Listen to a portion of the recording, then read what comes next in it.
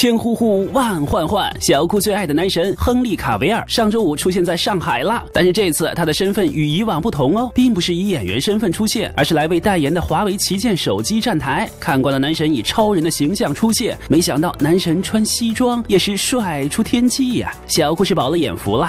放心放心，小酷我没有忘记自身任务，这次来主要是为大家谋福利的。你看看男神和这款双摄像头新品手机是不是超配呀？你们也想知道？作为男神，平时是怎么自拍的吧？怎么才能拍出那么帅的照片，对吧？User experience with that has been fantastic. Actually, I've really enjoyed it, especially when it comes to taking photographs. It really does have a wonderful camera on it.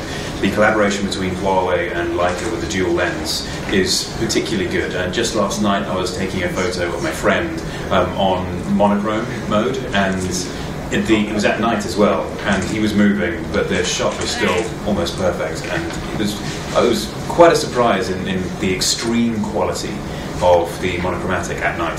天生丽质难自弃呀，男神，你的身材可不是一般人能练得出来的。平时是不是特别辛苦维持嘞？这是为下次再饰演超人做准备嘞，还是为进军中国做的准备呀 ？Um, I can't give you too much in the way of details for obvious reasons. It's very top secret, but as far as my own personal preparations are going, I'm training very hard. I'm back in the gym now to make sure I get back into Superman shape.